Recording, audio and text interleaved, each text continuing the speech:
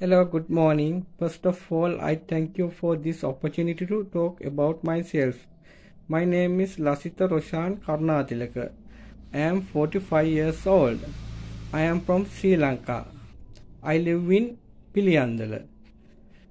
I have done my O level and A level in Kerry College.